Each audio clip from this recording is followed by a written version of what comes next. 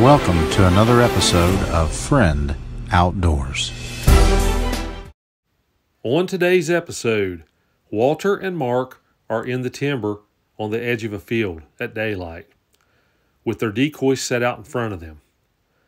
As dawn approaches, the guys hear a big gobbler in the bowl to their left.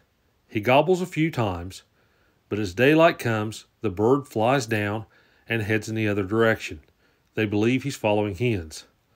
But as luck would have it, the guys make a few more tree calls and have a group of gobblers to sound off within a few hundred yards of their position, just off the point in front of them.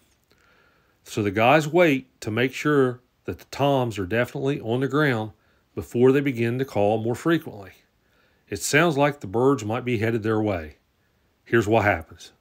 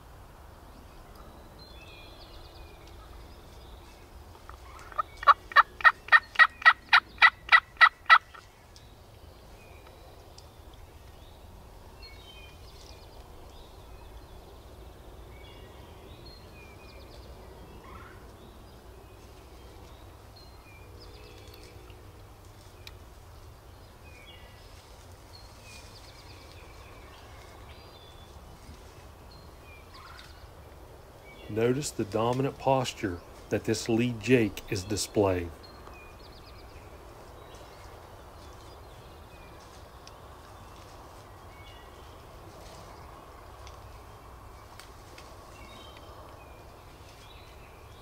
There's some very good clucking and purring vocalizations coming up.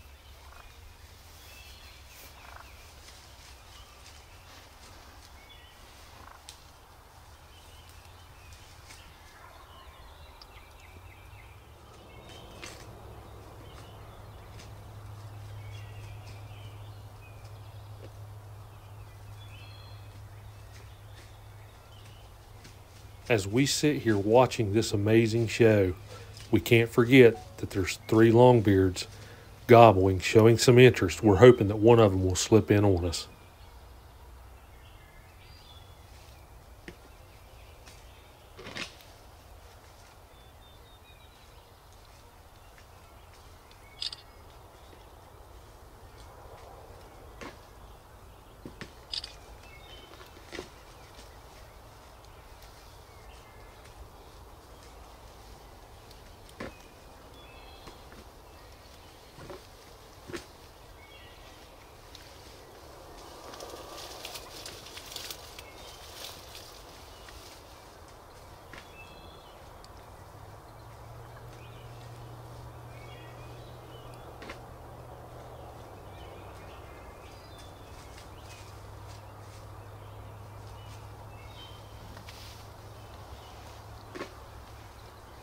I think this Jake is desperately trying to get this decoy to move here.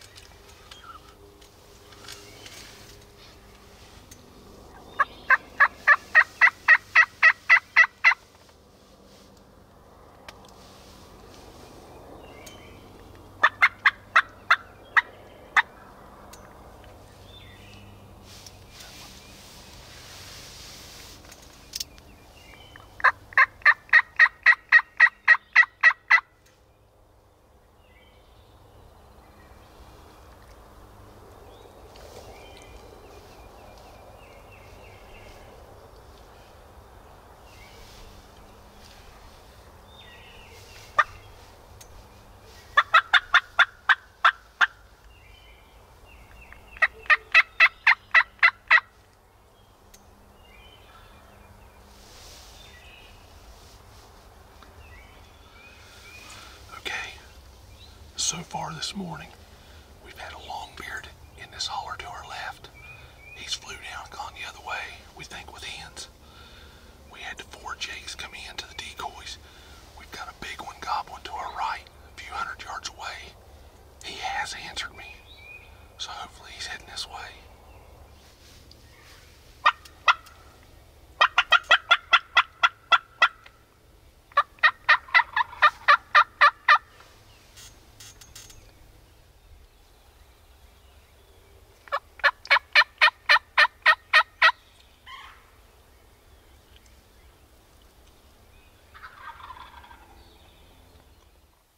We hope you enjoyed today's episode. Here's a quick recap of this hunt. On this particular hunt, we knew that there were turkeys in this particular area. We had an idea where we thought that they'd be roosted, but we didn't know if they was there. So we went in in the dark, we set up the decoys, we got our blind set up, and we just waited on this ridge, this narrow ridge. As we sit there and daylight approached, we heard a big bird in the bowl slightly to our left. He gobbled a few times. Then we could tell a bird was gobbling the way that we'd come in. Eventually, we heard some birds gobbling right in front of us. And that's when those jakes come up that road and come right into the decoys. And boy, did they put on a show. We hope you enjoyed that. That's not something that you see every day. It was pretty exciting to watch. As we was sitting there filming that, and that sequence probably went on about 35 minutes or so that I actually filmed it, so we cut a lot of it out. I could look out the blind to my left into the field behind us, and there was two longbeards out there with five or six hens. And as you saw, they would answer me once in a while, but there was no reason for them to come over there. They had exactly what they wanted right there.